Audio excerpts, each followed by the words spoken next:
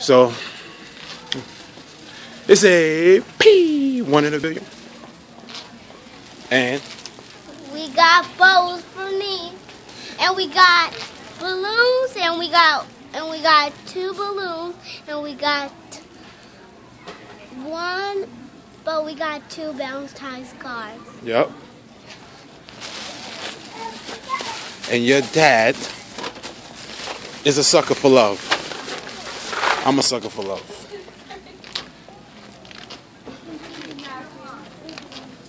So I talked all of that Valentine's Day junk. And then look, I'm a sucker for love. They got me. Something new for my baby. For my wife. Apple TV. She got all these Apple products, so here she goes. Apple TV. I hope she loves it.